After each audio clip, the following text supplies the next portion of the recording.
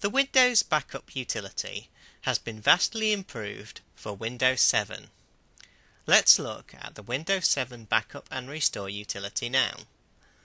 The utility is available through the control panel under System and Security, but we can launch it easily from the Start menu by clicking on the globe and searching for Backup and Restore and then clicking the result that appears. OK, so as you can see, there are no backups currently set up. To set one up, click on Set up Backup. You'll need to enter your administrator password or click Continue if User Account Control prompts you. So Windows Backup will now start. Now we get to choose a backup destination. This step trips up a lot of users, so be sure to pay careful attention to the on-screen prompts and also click on the Guidelines for choosing a backup destination to learn more.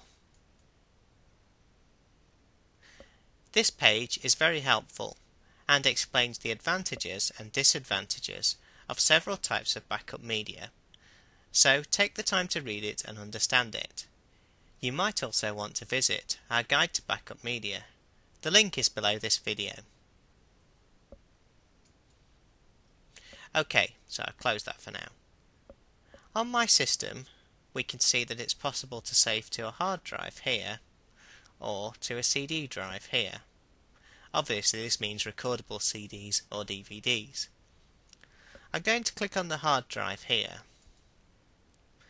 See we get this warning message down here.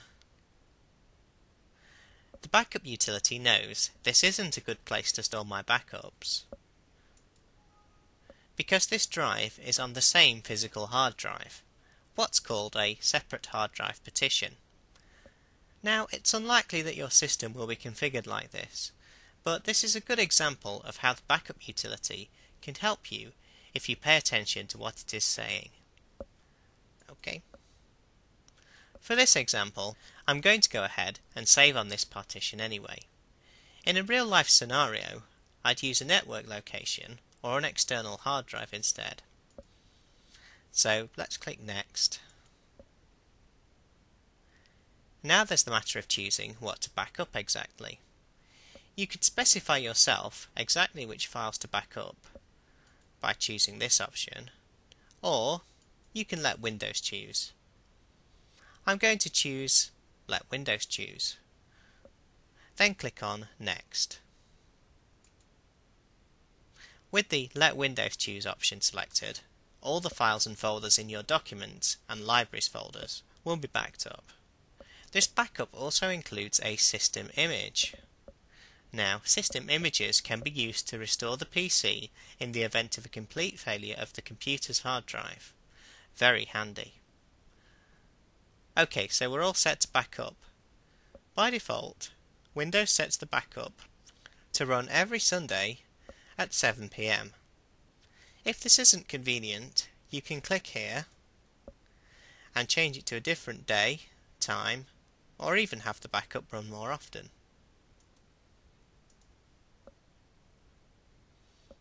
Right, we're all set. Let's click on Save Settings and Run Backup. Windows 7 even let create a system repair disk. You can do that by using this link here. We can use this disk in place of an operating system recovery CD if your computer manufacturer did not include one. Okay, so the backup is now running. I'll pause the video while this takes place.